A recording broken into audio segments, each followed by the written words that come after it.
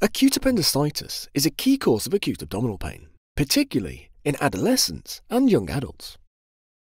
It affects approximately 7% of the population, so being able to diagnose the condition effectively and rapidly is really important.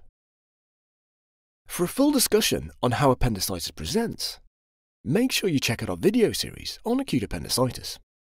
But in this video, we're going to focus on one of the key diagnostic examination findings that we should look to elicit in someone who has acute appendicitis, and that's Rovsing sign.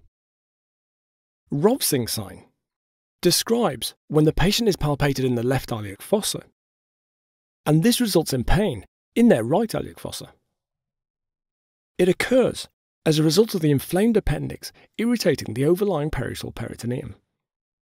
So as we palpate the left iliac fossa, it causes the parietal peritoneum to stretch, and as the peritoneum overlying the appendicitis is already inflamed, this stretching results in the patient experiencing pain in the right iliac fossa.